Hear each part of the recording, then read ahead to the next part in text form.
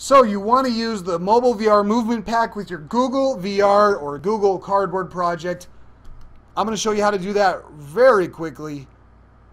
There's also instructions in the documentation, so we'll just follow along with that. The first thing is you've got to bring in the Google VR package. Right now, the version is 0.9, so I'm going to import that.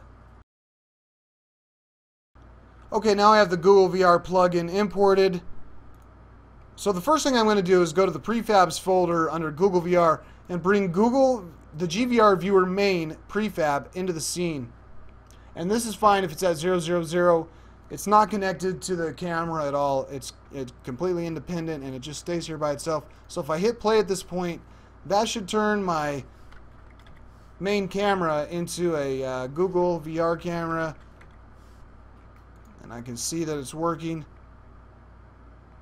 But there is a problem because Google VR is turning my head with Alt and Control, and so is my script called VR Mouse Look. So I could just remove that component because Google VR uh, does the same thing. The next thing you want to do is have a dot. So if you go to the UI, there's the GVR dot prefab. Put that as a child of the main camera. As long as it's at 0, 0, 0, everything's fine. I should have a, a dot in the middle of my screen now. But the dot doesn't work correctly, and that's because I need to switch the gaze input module.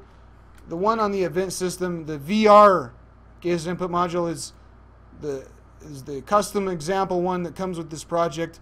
I'm going to remove that because we want to add Google's gaze input module. And this is the one without the VR at the beginning. And you need to move that up above standalone input module.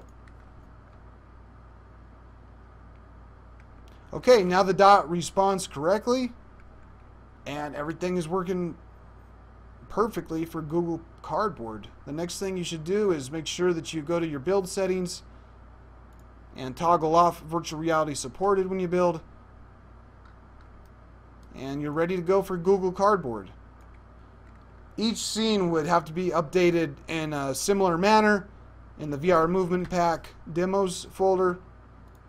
So if I were to go into the Auto Walk folder, I'm going to need to bring in the GVR Viewer prefab, put a dot on the main camera, change the gaze input module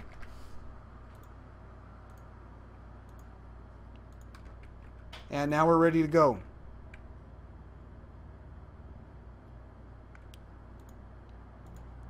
Just don't forget to take off that mouse look script.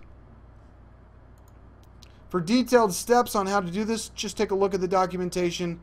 Each step is easily outlined. Okay, I hope this makes your Google VR project a lot easier. Thanks for watching.